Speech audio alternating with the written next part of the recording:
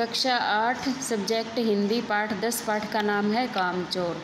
तो बच्चों, इस पाठ के अंदर ये बताया गया कि इसमें जो घर में बच्चे होते हैं, बहुत ज़्यादा होते हैं और कोई काम काज में घर में अपने मम्मी पापा की कोई हेल्प नहीं करते।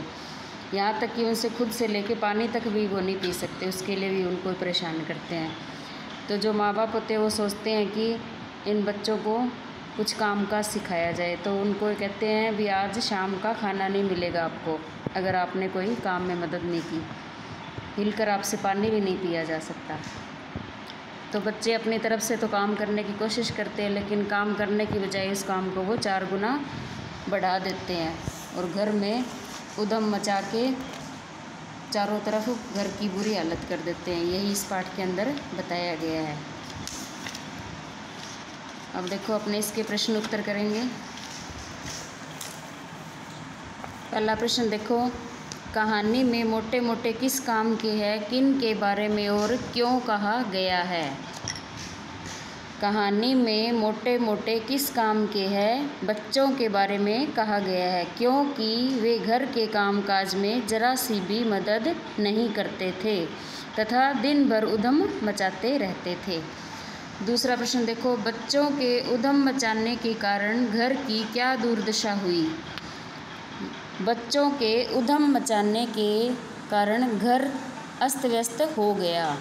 मटके सुराइयाँ इधर उधर लुढ़क गए। घर के सारे बर्तन अस्त व्यस्त हो गए। पशु पक्षी इधर उधर भागने लगे। घर में धूल, मिट्टी और कीचड़ का ढेर लग गया।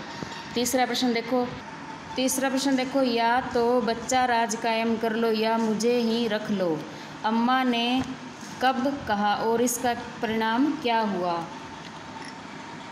अम्मा ने बच्चों के द्वारा की गई घर की हालत को देखकर ऐसा कहा था, जब पिताजी ने बच्चों को घर के काम काज में हाथ बंटाने को कहा, तब उन्होंने इसके विपरीत सारे घर को तहस नहस कर दिया।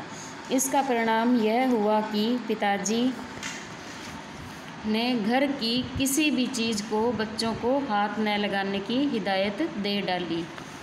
चौथा प्रश्न देखो, कामचोर कहानी क्या संदेश देती है? यह कहानी संदेश देती है कि बच्चों को घर के कामों से अनभिज्ञ नहीं होना चाहिए। उन्हें उनके स्वभाव के अनुसार उम्र और रुचि ध्यान में रखते हुए काम कराना चाहिए। पांचवा प्रश्न, देखो, क्या बच्चों ने उचित निर्णय लिया कि अब चाहे कुछ भी हो जाए, हिल कर पानी भी नहीं पिएँगे? बच्चों द्वारा लिया गया निर्णय उचित नहीं था, क्योंकि स्वयं हिलकर पानी न पीने का निश्चय उन्हें और भी कामचोर बना देगा।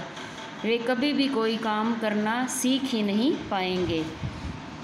आगे कहानी से आगे छठा प्रश्न देखो, घर के सामान्य काम हो या अपना निजी काम, प्रत्येक व्यक्ति को अपनी क्षमता के अनुरूप उन्हें करना आवश्यक क्यों है? ये इसका आंसर देखो, अपनी क्षमता के अनुसार काम करना इसलिए ज़रूरी है क्योंकि क्षमता के अनुरूप किया गया कार्य सही और सुचारू रूप से होता है।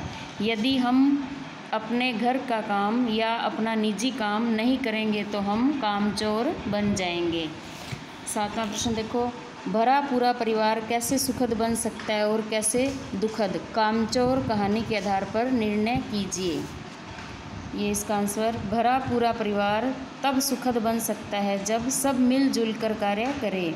वह दुखद तब बनता है जब सब कार्य जब सब स्वार्थ भावना से कार्य करें, कार्यों को बांटने से किसी दूसरे को काम करने के लिए कहने की ज़रूरत नहीं होगी और तनाव भी उत्पन्न नहीं होगे। अब इसके आगे ये देखो, शब्दार्थ है, ये भी आप अपनी हिंदी की नोटबुक में करोगे और साफ़ सफ़ाई से काम करना है।